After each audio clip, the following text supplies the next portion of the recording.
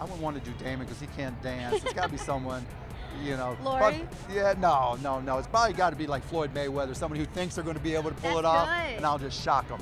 Today's episode of Newsfeed is brought to you by T-Mobile. Binge watchers and music lovers switch to the Uncarrier and do more with your data. If you were to lip sync battle anyone, Mark, who would it be and what song would you perform?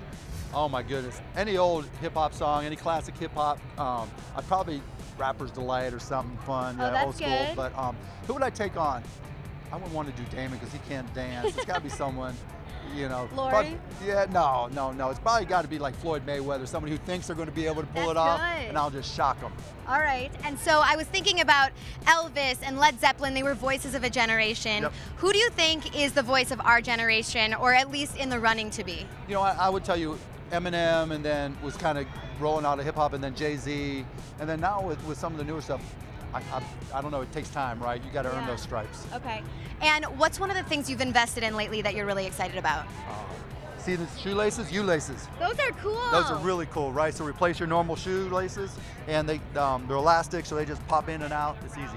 Those are so Those are really cool. Do you still invest in the entrepreneur over the product? Um, both. You can't, you know, can't have one without the other. You got a good product, and the, you know the person just can't get it done.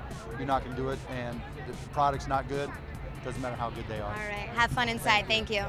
Click to the left to check out celebs revealing their dream lip sync battle opponents at the Billboard Music Awards, or head on over to the right to check out the best and worst dressed on Dirty Laundry. Thanks again to T-Mobile for sponsoring this episode. Only T-Mobile lets binge watchers and music lovers do more with their data.